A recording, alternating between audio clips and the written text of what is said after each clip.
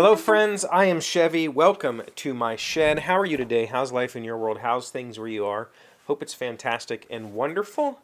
Um, everything here is great. As you can see, or maybe cannot see from the state of things here, I did not work on the Stanley number four last night. Had a date night with M instead, which was really nice. We went out, um, did a little bit of book shopping, and then went and had dinner. And it's something we don't do all that often anymore. Uh, pre pre situation, we would go out at least once a week. Sometimes, you know, there for a while. I think maybe we even went out a couple of times a week. Um, we don't really do that anymore. Uh, for one, I love cooking, and I have found some dishes that she really enjoys, so I just cook a lot more um, because it, it's fun for me. And two, money. And three, the situation just put us in a more of a stay-at-home kind of mood. We do go out. Um, it's just not not like we used to. It was it was a lot, and I think we both realized we were spending too much money doing that anyway. So we'd rather just stay home. Um, and speaking of staying home, uh, we're about to get hit by a snowstorm supposedly. Um, last night. We started to get winter storm warnings for today, saying it was going to be three to six inches. Now they're saying six to eight inches. Uh, some somewhere some forecasts are calling for up to a foot in the mountains. Where I live, I'm technically not in the mountains, and, it's kind of hard thing to describe to people who live who don't live in West Virginia. Our mountains aren't very mountainous. Uh, our mountains aren't like in the cloud, huge mountains like you would think, you know, out west in Colorado and that sort of thing. Our mountains are really just big hills. Um, and so where I'm at, I'm kind of in the foothills of those quote mountains, uh, and those mountains are just to the east of me. And um, some of my coworkers live in that region, and they will get a lot of snow. Uh, they'll get a lot more snow than we get, and it's only a few thousand feet elevation change. Like where I'm at right now, I think I'm at like right around 1,500 feet above sea level, something like that. Um, to the east to the the mountains, uh, it might get up to four thousand feet, which is not a mountain. Like it's just a big hill, right? But it's a, that amount of, of change is enough to cause a significant snowfall, and a lot of it happens because the storms moving from the west across the plains and the like the barren Midwest when they hit the hills here and the and the turbulence you know from the the ground here causes those storms to stall. And so instead of just blowing past us and leaving some snow, they sit on the mountains for a little longer and dump more snow. So it's going to be really interesting. Uh, we haven't had a real snowstorm. I don't think we had one last year at all. We had one storm where the me and Monster and were able to go outside and make snowmen, and they were tiny because there wasn't that much snow, and it melted within a couple of days. We haven't had a good snowstorm in a couple of years, I think, maybe even three or four years. So it should be interesting. Uh, but now that I work from home, it doesn't really impact me that much. The fun thing about snowstorms in this area is trying to go grocery shopping. Uh, people will buy the weirdest thing, and I think we've had this talk before. It's always milk, egg, and bread. Milk, eggs, and bread. Like, if I went to the store right now because the storm's supposed to hit at like 4 p.m. tonight. If I went to the store right now, there would be no milk, eggs, or bread. And I still don't know, like, what are you making with milk, eggs, and bread that you just have to have that?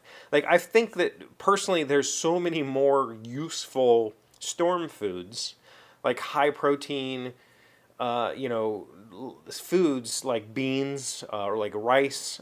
Milk, eggs, and bread don't do anything. Um, I guess bread is bread if you have sandwich meat, because that way if the power's out, you have food that you don't need to cook. That's fine. But I don't get the point of like, I'm going to go buy three loaves of bread because the storm's coming. I've never figured that one out. Or eggs, for that matter. Um, I, I, I tend to go for canned goods when I'm stockpiling because canned goods often can be eaten uncooked. And if the power goes out, then you have to kind of deal with that. Luckily, where I live, I think that one time in oh, not in, not since I've lived in this house. So I've lived here. This will be my tenth year in this house. Uh, my previous house. So it's been at least ten years, maybe probably more like fifteen-ish years. We had one time where the power was out for a couple days. It very rarely happens like that. And so I don't keep a large stockpile of food and water uh, prepared for power outages. Uh, I keep a normal amount of food and water, right? Like I keep, um, which for water is zero. I have no on hand water. I probably should. I should probably fill some jugs, do a normal rotation, because that is something that is that quickly runs out. But we just here in these little foothills, I don't we don't experience large power outage events like that. There are times to the east up in those mountains where they might lose power for days because the snow crew can't get, you know, the, the power crew can't get to wherever the lines are down. Um, that's not really the case here. So I don't stockpile.